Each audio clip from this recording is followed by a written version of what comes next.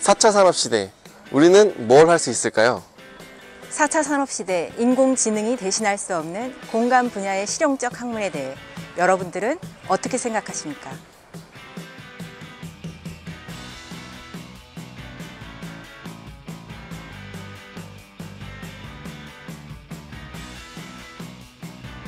마이크로소프트사는 미래 일자리 보고서에서 앞으로 가장 각광받을 직업 1순위로 virtual habitat designer를 지목했습니다.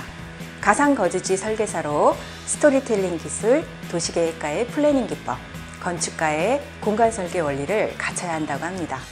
smart space creator라고 할 수 있습니다. 부동산학과는 상당히 융합적이고 실용적인 학문입니다. 부동산학과에서 다루는 분야는 경제, 경영 분야, 투자, 금융 외에 법률 분야까지 포괄하고 있습니다. 어, 우리나라 전국 4년제 대학에 부동산학과가 30여 개가 있습니다. 최근 도시화가 진전되고 산업 구조가 고도화되면서 전통적인 부동산 분야가 금융 투자 분야와 연계해서 확대되는 양상을 나타내고 있습니다. 저희 상지대학교 부동산학과에서도 이런 추세를 반영해서 two track제로 전공을 운영하고 있습니다. 첫 번째 트랙은 개발 관리 트랙이고 두 번째 트랙은 금융 투자 트랙입니다. 여러분들이 입학하시게 되면 1학년 때는 공통 과목을 수강하시게 됩니다. 그리고 2학년에 진학해서는 두 가지 트랙 중에서 하나를 선택해서 집중적, 집중적으로 수업을 하게 됩니다.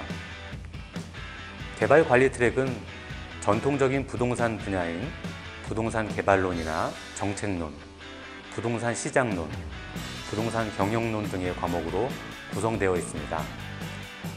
부동산 투자 금융 트랙은 부동산 금융론, 부동산 투자론, 부동산 간접 투자론 등 최근의 부동산 시장 추세를 반영한 과목들로 구성되어 있습니다.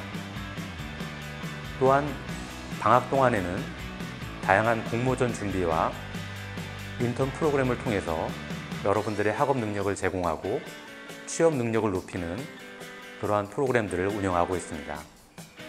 안녕하세요. 저는 현재 주택연구 분야에서 근무하고 있는 졸업생 1, 1학번 권순옥이라고 합니다. 제가 학교에서 부동산학을 공부했을 때는 과연 사회에 나가 어떤 일을 할 수 있을까 막연하고 좁게만 보였었는데요. 막상 제가 직접 사회에 나와 경험을 해보니 부동산학을 통해 뻗어나갈 수 있는 분야가 굉장히 다양하다는 생각이 들었습니다. 후배님들께서도 지금 공부하고 있는 부동산학을 통해 다양한 꿈을 꿈꿔보셨으면 좋겠습니다. 부동산학과 졸업 후 진로는 다양한 분야로 진출할 수 있습니다. 크게 부동산 개발, 관리, 금융, 평가, 정책 분야로 각각 공기업과 민간 기업으로 진출할 수 있습니다. 공기업을 보면 부동산 개발 분야는 LH공사, SH, 지자체공사, 관리 분야는 한국자산관리공사, 금융 분야는 한국주택금융공사와 주택도시보증공사가 있습니다. 평가 분야는 한국감정원이 있고 정책은 중앙 및 지방 전문직 공무원이 있습니다.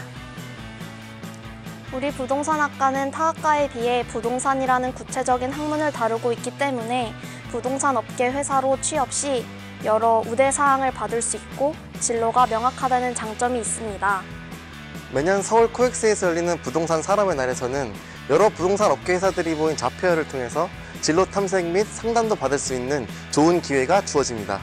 방학마다 타학교 부동산학과 학생들과 함께 더욱 신층적인 공부를 할 수 있는 여름학교, 겨울학교가 있고 인턴도 지원해주는 인턴십 프로그램도 있습니다.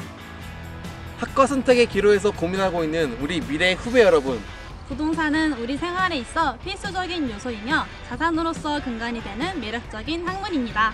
안정적이고 전망적인 진로를 꿈꾸는 당신! 4차 산업시대 인공지능이 대신할 수 없는 공간 분야의 전문가 smart space creator 여러분도 될 수 있습니다.